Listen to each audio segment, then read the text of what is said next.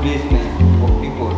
We have had issues in the state whereby high profile personnel have been involved in cases and we don't know how we can go about it. But now after attending this training, it has given us the clue on which procedures to use to collect information and how you can be able to report it uh, to people that are concerned like other stakeholders, the government institution and other partners.